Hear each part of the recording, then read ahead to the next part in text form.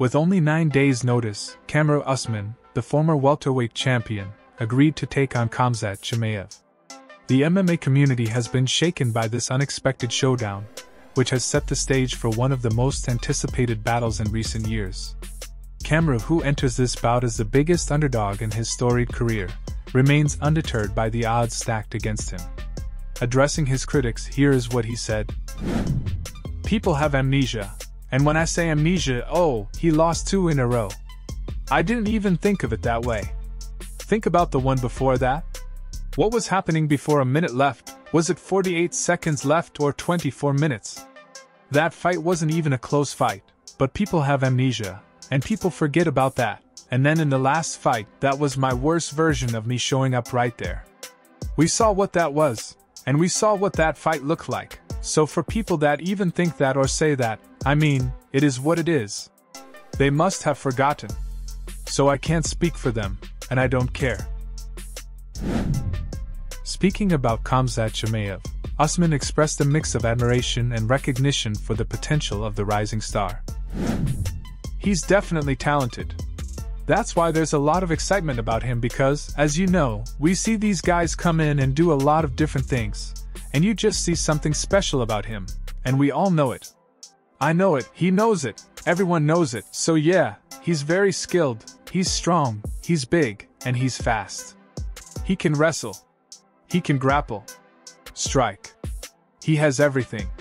But so do I, and at the end of the day, we are all human beings. And so everybody feels invincible until someone comes in and pokes that balloon.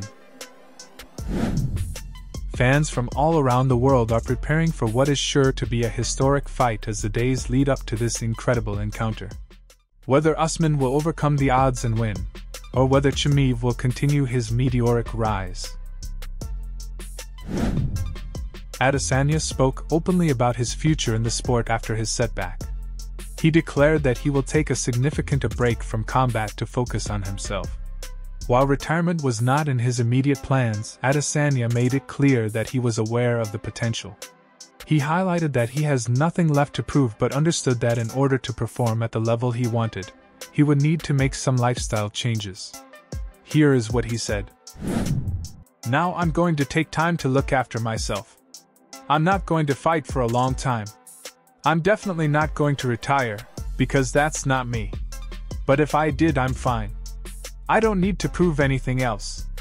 But I know what I can do, and I know what I can change in my lifestyle to make my body adapt to where I need to be. I'm going to heal myself up. You won't see me fight for a long time.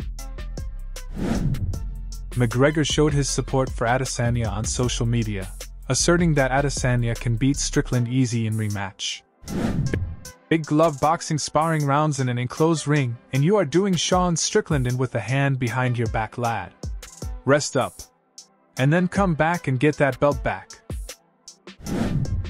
Adesanya's future in the sport is still up in the air, but it is clear that he is committed to taking care of himself and improving himself.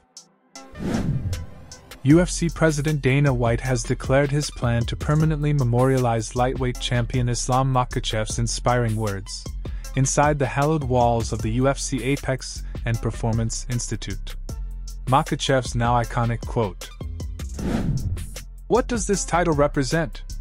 It means you're the best in the world, and if you're the best in the world, it doesn't matter who is standing across from you. What do I say? No, never.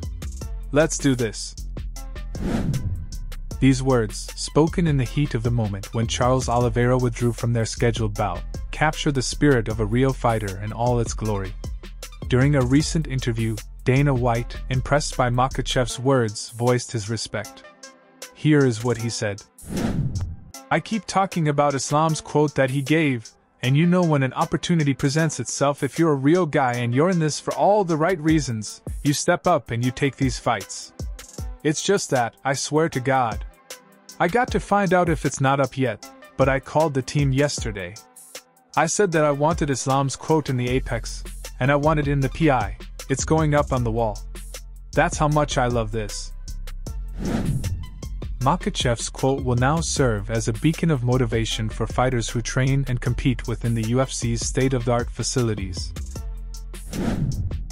Bo Nickal stated that he was upset when the UFC declined to contact him regarding a last minute matchup with Khamzat Chimaev. In a recent statement, Nickal, who has gained inters in the MMA world with his superior wrestling, disclosed the lack of contact from UFC side. Here is what he said. I was a little disappointed they didn't ask me. They didn't ask me to step in there. I was expecting at least an ask like, hey, do you want to do this? But no, just nothing. Nothing from the UFC, so is what it is.